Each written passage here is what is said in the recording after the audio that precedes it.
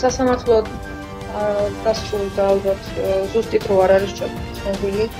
არც ეს არის ცნობილი რა გადაწყდა რა საკითხებზე იყო სასამართლო დღეს განხილვა ამ სასამართლოსი და მომავალი სასამართლო ჩვენი მხარე გამოდენილი საათის წინ გამიგგვაცნობა რომ 25-ში არის ჩაკ ოკუპირებული ცხინვალის ეგრეთ წოდებულ სასამართლოში ზაზა გახელაძის საქმის განხილვა გადაწყვეტილების გარეშე დასრულდა მორიგის ხდომა 25 იანვარს ჩაინიშნა. დებით ოჯახი სიახლეებს და იმეს არ გარკვევთ რომ ყველაფერი მალე დასრულდება. ალდების წარდგენა ახლა დასრულდა.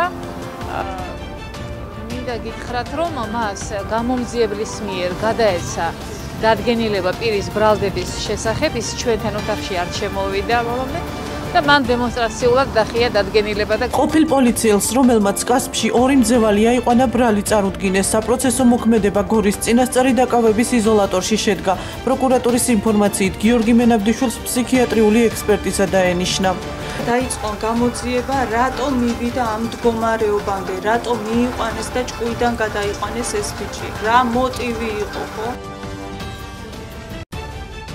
დღეს პირველად შიდა ქართლში კორონავირუსის არც ერთი ახალი შემთხვევა არ გამოვლენილა.